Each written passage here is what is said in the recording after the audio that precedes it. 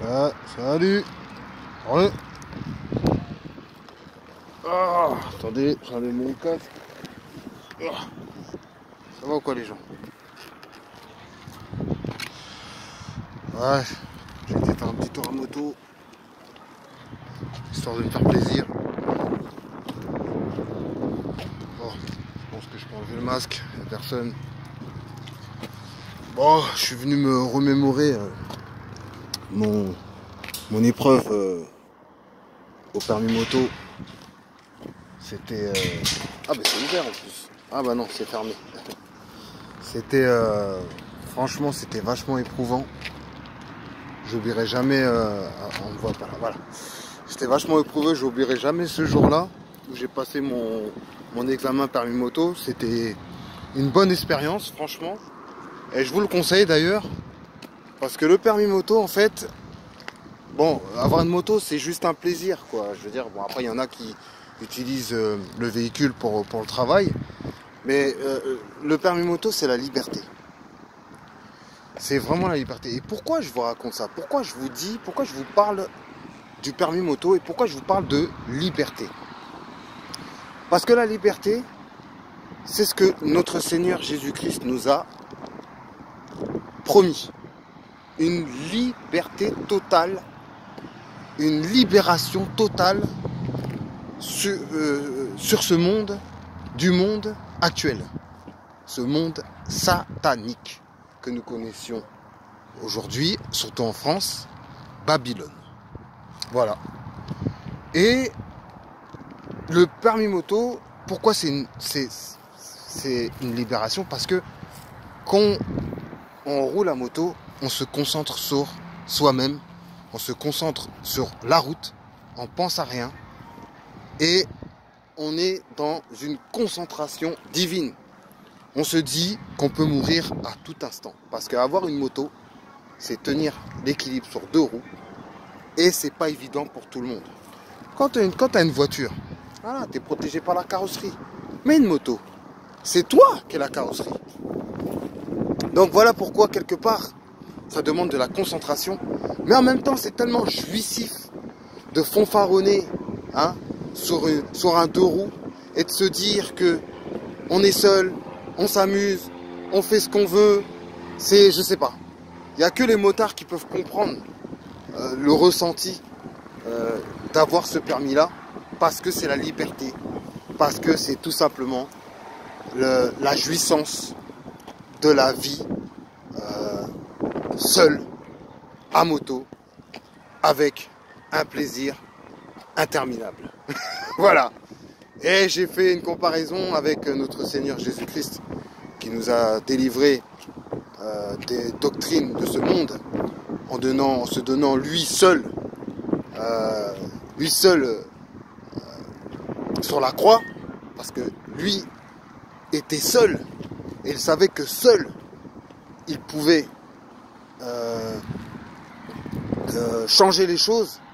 Euh, il savait que lui seul pouvait renverser la donne de l'époque. À l'époque, il y avait les Romains, à l'époque, il y avait les, pharisiens, et puis tous les prêtres pseudo, pseudo prophètes. Hein, ils, prophétis- ils prophétisaient tout et n'importe quoi. Et Jésus est arrivé avec sa propre vérité, c'est-à-dire la vérité du Père, car lui-même, lui seul représentait le Fils. Pourquoi je vous dis tout ça? Parce que moi-même, j'ai envie de représenter le Fils. Moi-même, j'ai envie de vous rapporter ce que Dieu me met à cœur. Et ça fait déjà deux ans, non, trois ans ça va faire. Ça fait trois ans qu'on parle de gilets jaunes. Et jusqu'à maintenant, on s'est pris que des coups. Que des coups, que des coups. Moi, personnellement, j'en ai pas pris et je remercie le Seigneur pour ça. J'ai été manifesté que le 17 novembre et après j'ai arrêté.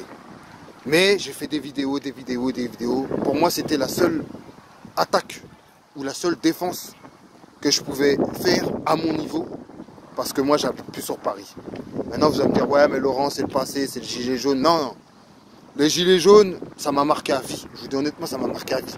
Quand tu te retrouves devant un écran, à voir des gens qui sont ébornés, se faire frapper par les flics, franchement, t'as les larmes aux yeux. Parce que c'est là que tu te rends compte que la dictature, elle est vraiment en marche. Et c'est pas, hein, c'est pas pour rien que ça m'a fait hyper mal au cœur. Moi, je suis resté longtemps sur, euh, euh, sur les vidéos des Gilets jaunes, sur la manifestation. Et jusqu'à maintenant, j'en pleure encore. Maintenant, moi, j'ai expliqué à l'époque juste ma situation financière. J'en reparle encore aujourd'hui parce que c'était euh, vraiment le sujet premier à cette période. Aujourd'hui, deux ans après, je me retrouve effacé, d'être effacé. Et je remercie le Seigneur pour ça, parce que vous savez très bien que le Seigneur, c'est celui qui euh, contrôle les autorités. Et je pense que c'est lui qui a donné euh, l'autorisation euh, aux juges de pouvoir m'effacer mes dettes. Et je le remercie pour ça. Et c'est pour ça qu'aujourd'hui, j'ai envie de lui faire honneur. Et c'est pour ça que ma, mission, ma, enfin ma mission, oui, c'est ma mission, mon, mon, but concernant mes projets, et de fonder une nouvelle église futuriste. Et c'est pour ça qu'aujourd'hui je m'engage à, à, euh, à, financer cette église. Et euh, j'ai mis ce financement sous forme de token. Pourquoi j'ai mis ce financement sous forme de token? Parce que beaucoup d'entre vous en ont marre de l'euro. Non, il y a un moment donné, il faut dire la vérité. Beaucoup d'entre vous en ont marre de l'euro l'euro. J'ai entendu des gens se plaindre de l'euro. L'euro c'est trop cher. Avant une baguette c'était un franc. Maintenant une baguette c'est une baguette c'est 6 francs 50. Euh, c'est de la dictature. C'est n'importe quoi. C'est de plus en plus cher. Euh, avant tu rentrais en boîte, euh, c'était 20 balles. Aujourd'hui, c'est pratiquement presque 60, 60 francs. Je parle en francs, ancien francs. Je sais que vous en avez marre de cette dictature et vous voulez changer la donne. Ah ben, moi, je propose une solution, tout simplement, acheter ma crypto-monnaie. Je ne dis pas que je vais changer la donne, mais acheter ma crypto-monnaie pour financer cette église et pour que nous puissions demander au Seigneur Tout-Puissant de nous donner une force, une énergie pour pouvoir tout simplement changer ce monde actuel qui est dominé par Satan. C'est tout. Nous devons demander au Seigneur de pouvoir, j'ai bien dit de pouvoir, faire partie des 144 000 mentionnés dans la Bible. Car je connais la vérité et Dieu m'a fait montrer la vérité. Si vous, faites, si vous voulez vraiment faire partie des 144 000, vous devez tout simplement écouter le Saint-Esprit et vous devez tout simplement le suivre en toute simplicité. Les 144 000, ça peut générer tout, beaucoup de chiffres, comme pas beaucoup de chiffres.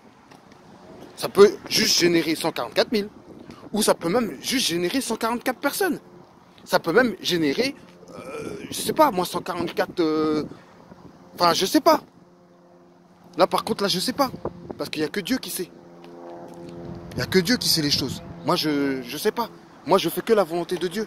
Donc moi mon objectif c'est tout simple. Mes frères et sœurs en Christ, aidez-moi à financer cette église s'il vous plaît. Je parle sincèrement. Dieu m'a donné une mission. Ça fait depuis 98 qui m'a donné cette mission, je n'ai rien fait. J'ai rien foutu. Pourquoi? Parce que j'ai pas voulu l'écouter. Quand il m'a parlé, quand il me parlait, je l'écoutais pas. J'ai fui. Je vous dis honnêtement, mes frères et sœurs, là, je vous parle sérieusement maintenant. Là, je ne fais plus semblant. J'ai fui le Seigneur en 98. J'étais en Martinique.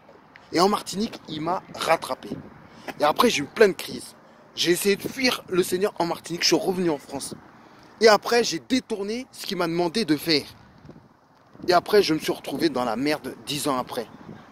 Voilà pourquoi je suis dans la merde. Je dis honnêtement, voilà pourquoi je suis dans la merde. Vous voulez savoir pourquoi je suis dans la merde? Je vais être franc maintenant, je vous parler franco. C'est parce que quand je suis revenu de la Martinique et que le Seigneur m'avait parlé, je l'ai blasphémé.